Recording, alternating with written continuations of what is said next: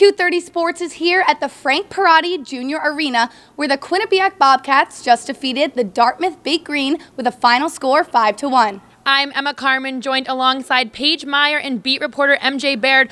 So, MJ, it was a lot of back and forth action in the first period, and then the Bobcats got a little spark under their skate. What was the biggest difference you noticed from the first and the last two periods?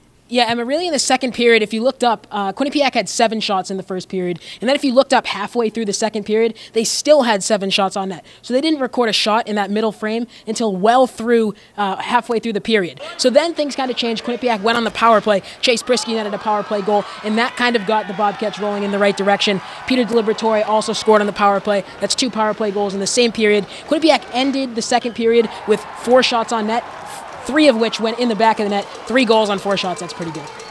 Now, MJ, speaking of power play, Quinnipiac went three for four. Now, what is the secret for their success? Well, the easy answer to this one, Paige, would be Chase Priskie. I mean, he has mm-hmm. eight power play goals, uh, tied for the lead in the nation for, for power play goals with eight. He also has 13 on the season. Um, so the thing that is kind of the X factor here when you play an opponent, they're obviously have, they have a scouting report and they see what Quinnipiac does on the power play. And well, everyone tries to shut down Chase Priskie. That opens up lanes for other players. We talked to Alex Whelan after the game. He said he kind of feels it opens up both of their power play units because opponents are so focused on stopping Chase Priskie, it leaves other players like Odeen Tufto, who has four power play goals on the season, open, and that's why they've been so successful.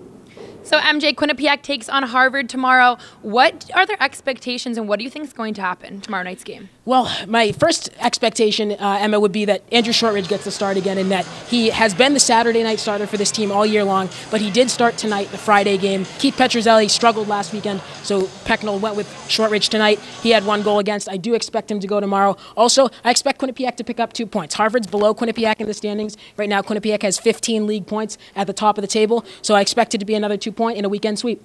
Thank you so much for tuning in. We will be back tomorrow night at 7 p.m. Good night, Quinnipiac.